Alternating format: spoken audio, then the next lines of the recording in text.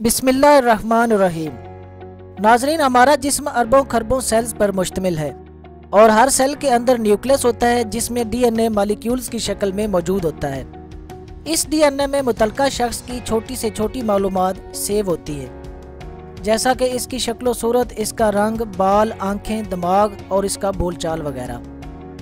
DNA की memory storage 215 petabytes है, यानी 21 करोड़ जीबी इस वक्त पूरी दुनिया में मौजूद इल्म को अगर डीएनए में सेव करना हो तो सिर्फ़ वन के जी डी में पूरी दुनिया का इल्म महफूज हो सकता है। नाजरीन, डीएनए इंसान की नस्ल को बढ़ाने का ज़रिया है।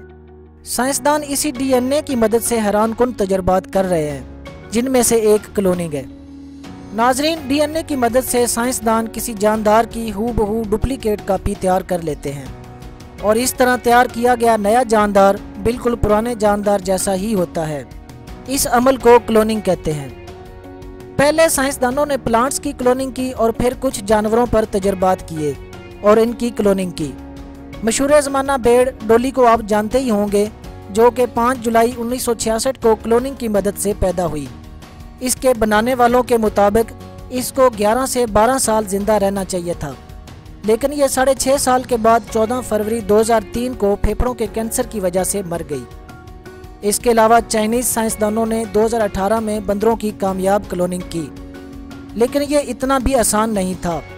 उनको 300 दफ़ा कोशिश करना पड़ी और क्लोन सेल्स को मादा बंदरिया में रखा।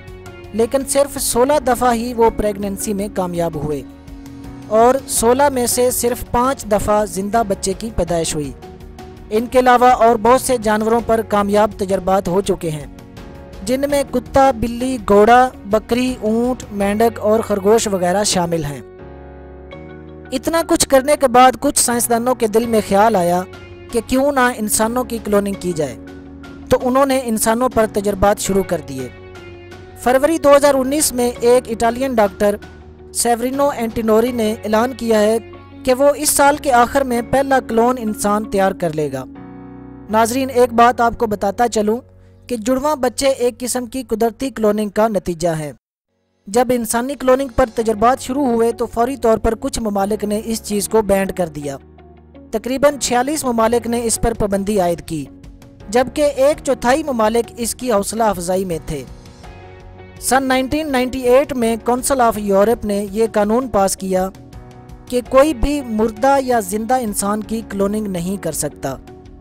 2001 में यूनाइटेड किंगडम ने इसकी इजाज़त मेडिकल रिसर्च के लिए दे दी। स्वीडन, चाइना और इसराइल ने भी कहा कि वो इसके खिलाफ नहीं है। जो लोग ह्यूमन क्लोनिंग के हक में हैं, वो कहते हैं कि इसको रोकना नहीं चाहिए, क्योंकि इसके बहुत से फ़वाद हैं, जैसा कि इससे आबादी में इजाफा होगा और मौत की शरह कम होगी और बे का खात्मा होगा।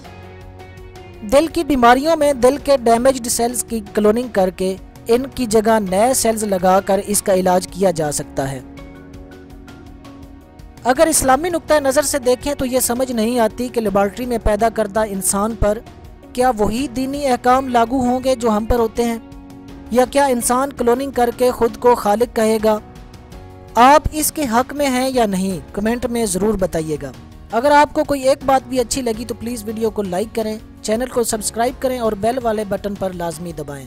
और अपनी राय का इजहार कमेंट में ज़रूर कीजिएगा।